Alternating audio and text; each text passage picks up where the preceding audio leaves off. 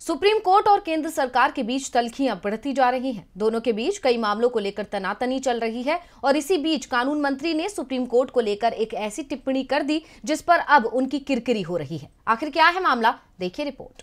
Collegium में जजों की नियुक्ति को लेकर समय समय पर केंद्र सरकार और सुप्रीम कोर्ट के बीच तलखियाँ देखने को मिलती हैं।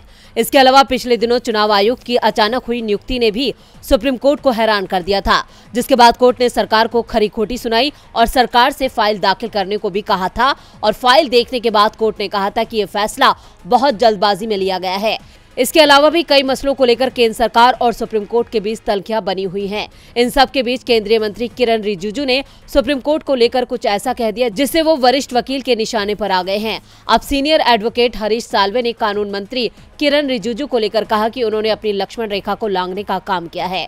उन्होंने कहा, मेरा मानना है कि कानून मंत्री ने जो भी कहा है, उससे उन्होंने लक्ष्मण रेखा को पार किया।